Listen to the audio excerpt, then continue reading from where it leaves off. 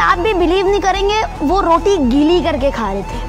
बस वो बात मेरे दिल को लगी और रात में जब मैं घर आया सोने लगा तो आ, मैंने सोचा कि भाई अब तो कुछ करना है। बस वो मैंने सोचा मैंने डोनेशन के लिए पहली वीडियो बनाई डाला पेज पे लाइव्स किए तो अच्छी खासी डोनेशन आई हमने कोई पचास साठ राशन कर दिए। इतफाक़ से जब हमने सेवेंटी फाइव राशन कर दिए कोई प्लान नहीं था मेरा हम लोग जे गए। वहाँ पे गए तो जफ़र भाई मुझे पहचान गए कि इसको तो देखा है वीडियोस में। उन्होंने जिस दिन, उस दिन मेरी वीडियो बनाई है वहाँ पे और उस रात से आज के दिन तक मैंने अल्हम्दुलिल्लाह six thousand plus ration bags बांटे मेरी माँ बाप ऐसा करेगा कि एक बच्चे की यानी पढ़ाई स्किप कर रहा है, वो ऑनलाइन क्लासेस कुछ टाइम के लिए उसने स्किप कर दी। स्कूल में है, मगर पढ़ाई कुछ टाइम के लिए स्किप कर दी और जब वो बाहर जा रहा है तो गरीबों की मदद कर रहा है। मेरा भी दिल चाहता है पढ़ाई करूँ, मेरा भी दिल चाहता है मैं क्रिकेट खेलूं, गली में अपने फ्रेंड्स के साथ, मेरा भी दिल चाहता है मैं पबजी रोज़ खेलूं, मेरा भी दिल चाहता है मैं प्ले स्टेशन रोज़ खेलूं। मगर नहीं, जब मैं बाहर जाता हूँ ना, और जो बाहर की जो एक इमेज आ जाती है आपके सामने, एक स्क्रीन आ जाती है कि एक बंदा चुप है, मांग नहीं रहा, मगर वो यूँ बैठा हुआ है। इस टेंशन में कि मैं जाके अपने बच्चे को क्या मुँह दिखाऊँगा, मैंने इसको क्या देना है? भूखा सुनाना है आज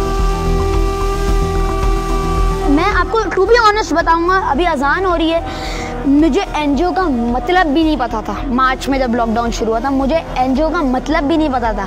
जब मेरे पेरेंट्स ने मुझे समझाना शुरू किया, ये होता है, ये होता है, ये होता है, मैं उसी तरह डेवलप होता गया और मैंने ये काम शुरू किया।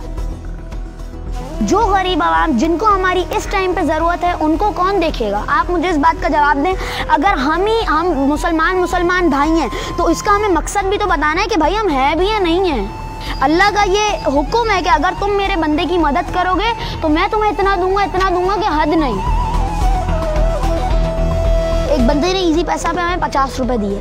पचास रुपए में एक गरीब की पाँच रोटियाँ आ जाती हैं। पचास रुपए में हल्की थोड़ी सी चीनी आ जाती है। पचास रुपए में थोड़ा सा आटा आ जाता है। पचास रुपए में थोड़े से चावल आ जाते हैं। हमें ये देखना है कि हम एक राशन में उस पचास रुपए से भी कितनी चीज़ें एडजस्ट कर सकते हैं। क्योंकि ये काम शुरू करने का मकसद ये होता है कि इसमें एक, अगर मेरे पास यहाँ पे एक लाख रुपए पड़े तो इस एक लाख रुपए में से एक रुपया भी मेरी जेब में नहीं जाना चाहिए। कि सब गरीबों में जाना चाहिए।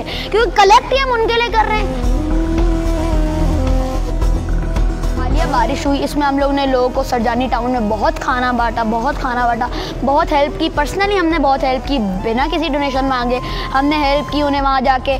मगर अगर यानी किसी हमारी बहन को जहेज़ की ज़रूरत है शादी में मसला है किसी किसी हाँ किसी टीन को नौकरी नहीं मिल रही जबकि वो बहुत अच्छा एजुकेटेड है हम उन्हें